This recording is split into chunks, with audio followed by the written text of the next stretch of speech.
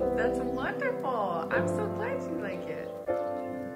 Hello, it's Lauren with Lauren Elizabeth Animal Art, and I'm on day 228 of my 365 days of color. I welcome you to a very calming time lapse Tuesday where you can watch me draw and paint this fall Halloween style horse painting.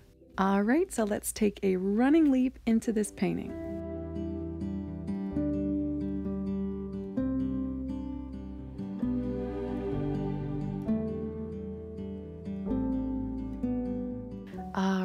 So I've uploaded the drawing and painting unedited raw footage to my online animal art masterclass in a new tab called the Bonus Bites tab.